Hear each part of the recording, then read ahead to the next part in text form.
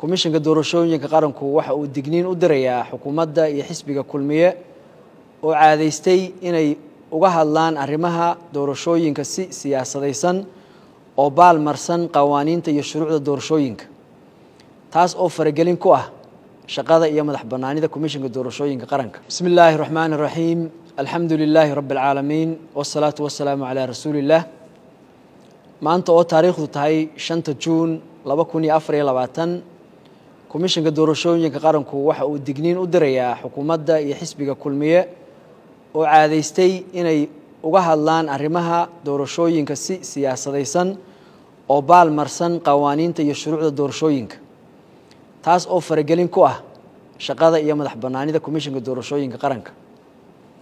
Waxaanu si gaara digniin ugu diraynaa wasiirada iyo madaxda xisbiga kulmiye oo muddooyinkii u dambeeyey oo lale siyaasadeed ka dhigtay howlaha komishanka doorashooyinka qaranku gacanta uu ku hayo.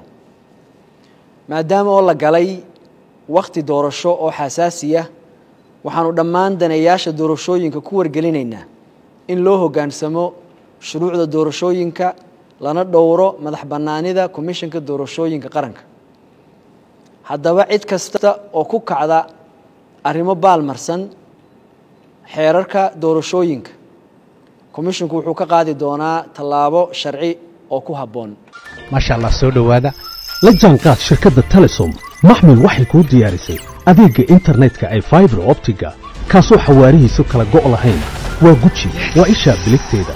Intuu soo gudlanayo hadalba gam hagarle ii ku isticmaal sochial midiyaha kuna daawo wararka cayaaraha iyo onlaine geemiska haddaba maxmil soo gasho gurigaaga xafiiskaaga iyo goobtaada shaqo فضلا نقل صوحي لي نمبر كقابن 121